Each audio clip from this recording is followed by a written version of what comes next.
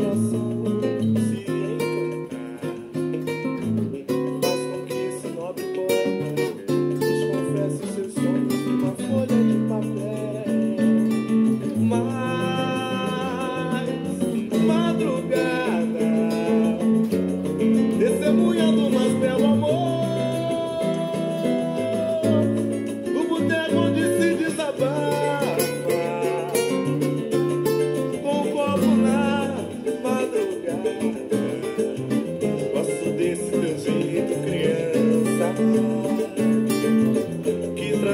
pra nós com a beneficência o divino poder de oferecer um novo amanhecer e padece, nos deixando outra caminhada.